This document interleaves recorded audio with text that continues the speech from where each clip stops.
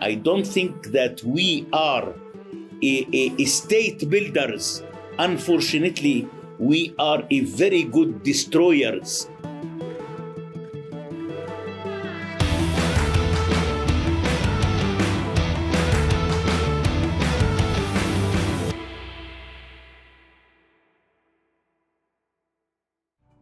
Welcome to Global Perspectives.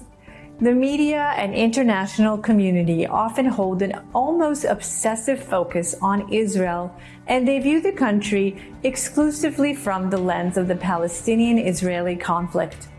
This week, it's my deep pleasure to bring to you Palestinian human rights activist Bassem Eid to share his perspective on the world's hotspot. Bassem Eid, thank you so much for joining me on Global Perspectives. Thank you. Thank you so much. Bassem, you know, you're my first Palestinian guest, and I feel like we have a lot to talk about. So I want to jump right into the, what I think is the elephant in the room when it comes to the question of peace between Israel and the Palestinians, which is the religious factor in this conflict and the very notion of whether the Palestinians are open to a Jewish state in the Middle East. What are your thoughts on that?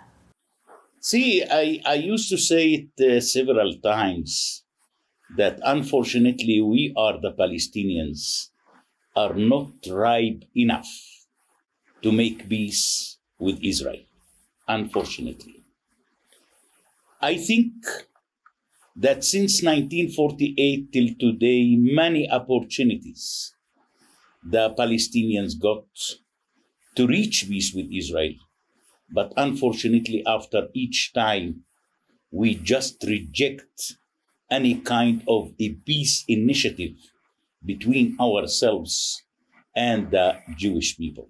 And do you think that's because the Palestinian leadership cannot accept the idea of a Jewish state in the Middle East? Let me say that since 1948 until 1993, I used to accuse the Arabs on that time.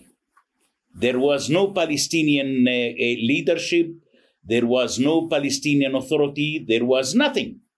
But since 1993 until today, of course, that the one who should have to be blamed is the Palestinian Authority in the West Bank and the Hamas in the Gaza Strip. Sometimes I used to say that unfortunately looks like to me that the Israeli Palestinian conflict is unsolvable conflict. And this is what exactly I am trying, you know, to explain during my lectures, mainly in the campuses in the United States. And just to make people relax, just to make people not to make so big noise on the Israeli Palestinian conflict, just to stop people creating organizations to make the Israeli Palestinian conflict more and more complicated. Just yesterday, you published a piece in Newsweek, and in it, you you um, you say it's time for Palestinians to embrace Dr. King's nonviolent resistance. You say, as a Palestinian living under Israeli occupation in Jericho, I'm keenly aware of how much more there is to do to ensure equal rights for us Palestinians. It is obvious that the status quo does not serve the interests of either side. And yet, after a generation of living under Israeli occupation, it has become increasingly clear to me that the Palestinian leadership deserves much of the blame for the lack of progress. Tell us how so.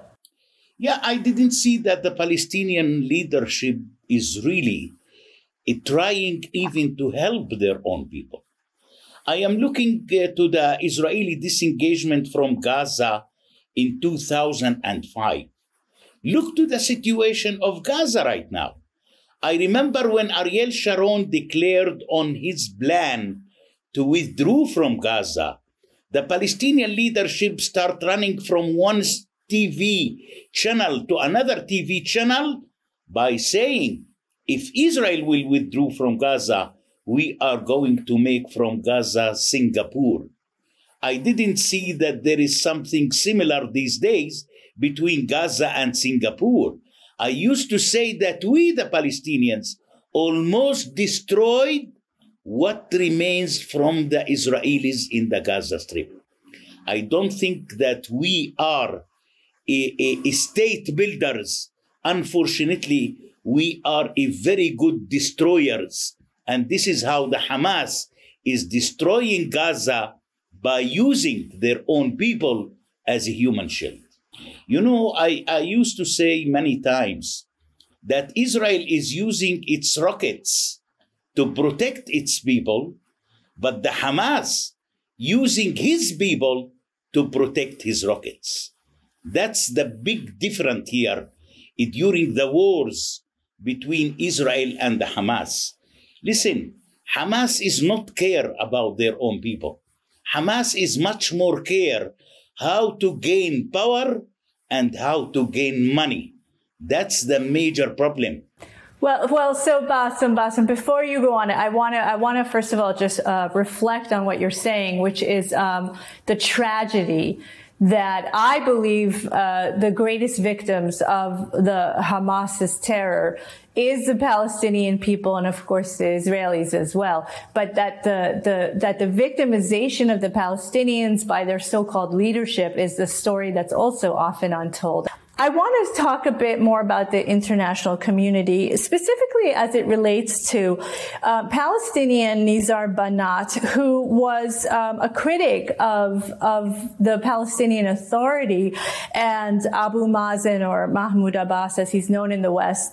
And uh, according to his family, the PA forces come to their door. They beat him to death, in essence, because he dies after this beating. Now, the story that I found on, on his beating attack is that almost immediately after the European Union condemns this uh, incident and, and asks for an investigation, they express their shock. And then the EU gives a $425 million aid package to the Palestinians, private sector, 200 million of which would be channeled through the PA. What do you think this um, cycle of endless funding that's given to the PA and even to Hamas for reconstruction, what role do you think that plays in the conflict? I don't think that the international community has any more credibility right now on the Israeli Palestinian conflict. See, this is not the first time that the EU condemned the uh, cases or violations happened by the Palestinian Authority. I remember hundreds of cases that the EU condemned, and in the, on the second day, the EU continued its own aid to the Palestinian Authority and to the Hamas. So I know that I know Nizar Banat in person. I know his case very well.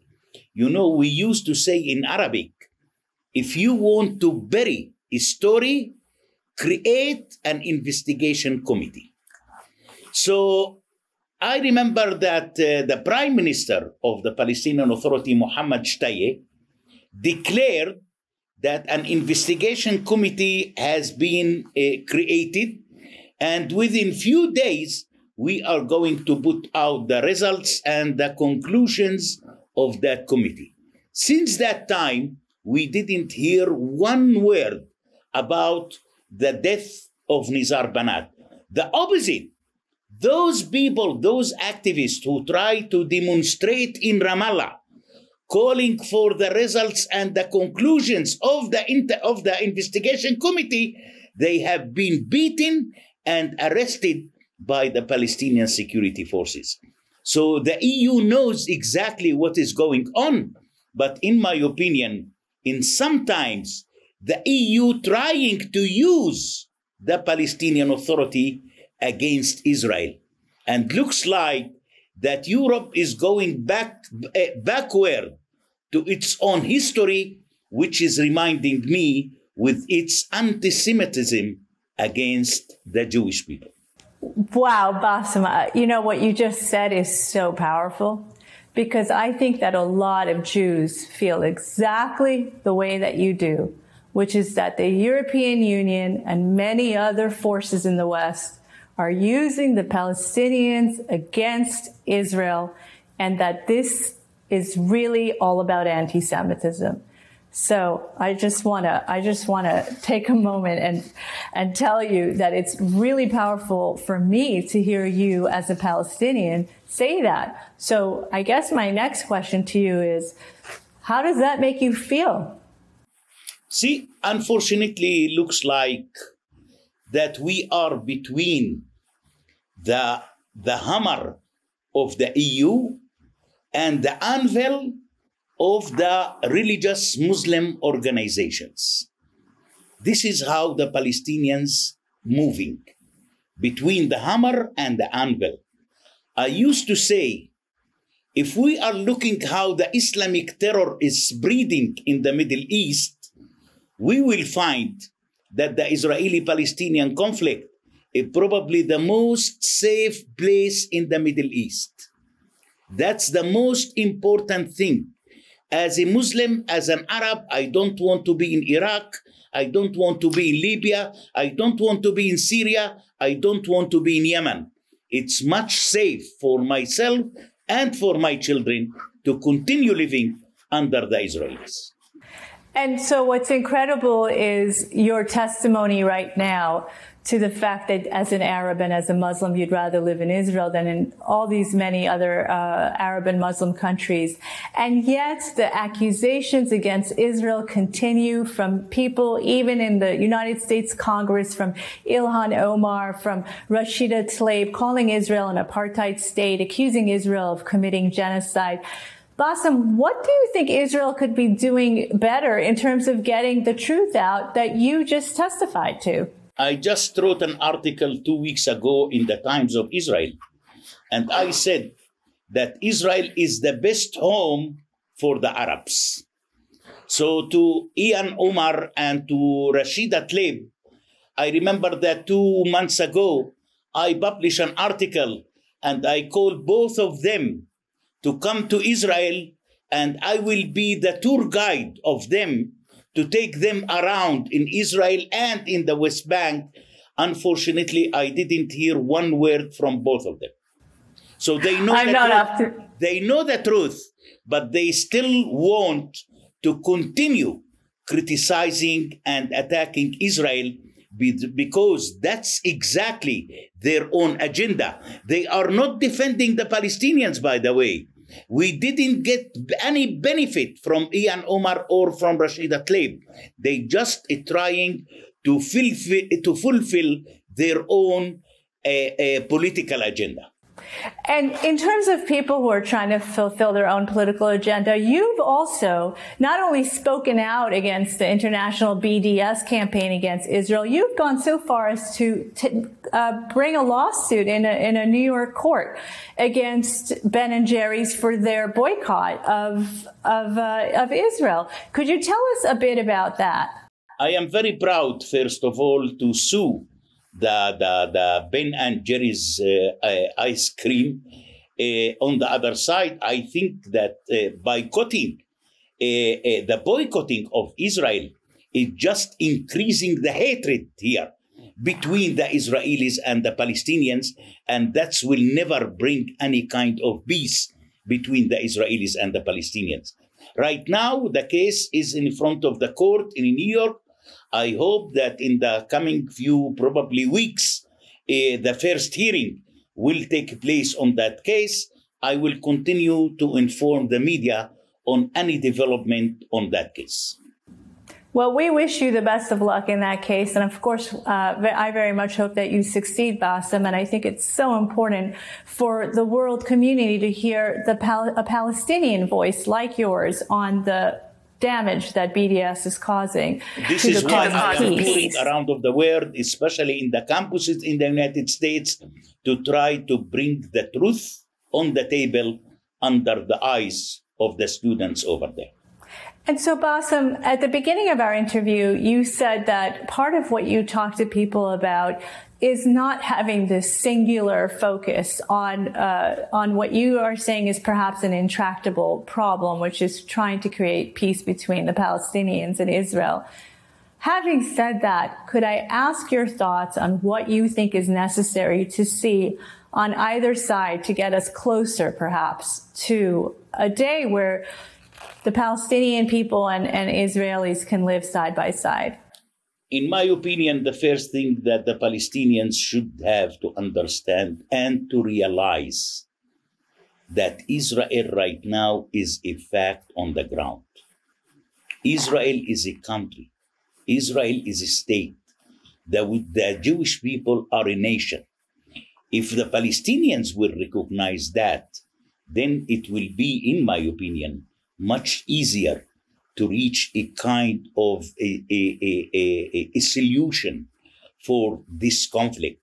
But while the Palestinians is still denying uh, the, the, the right of Israel to exist, so then don't tell me to go and to find peace between the Palestinians and the Israelis.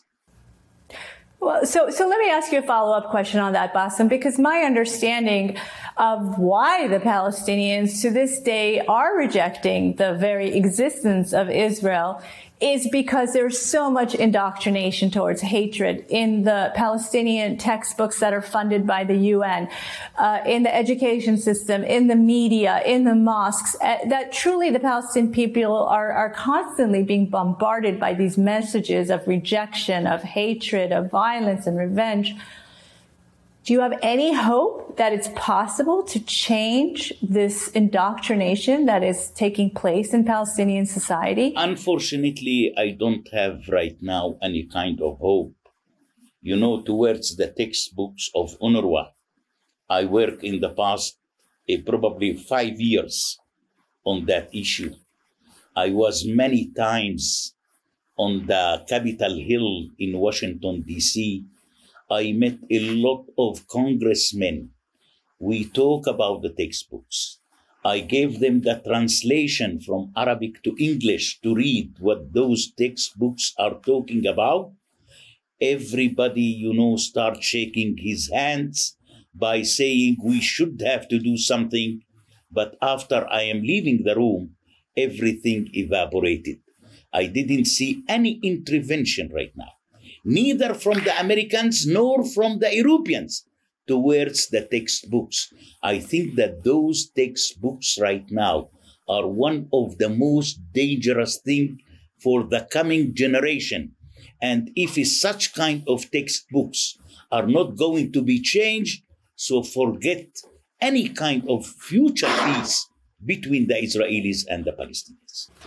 Well, I, I, couldn't agree with you more. I think anyone could understand that what children are learning in school is such a powerful way to influence them. And I have to say, uh, the, the Trump administration did defund UNRWA for many reasons, the textbooks included.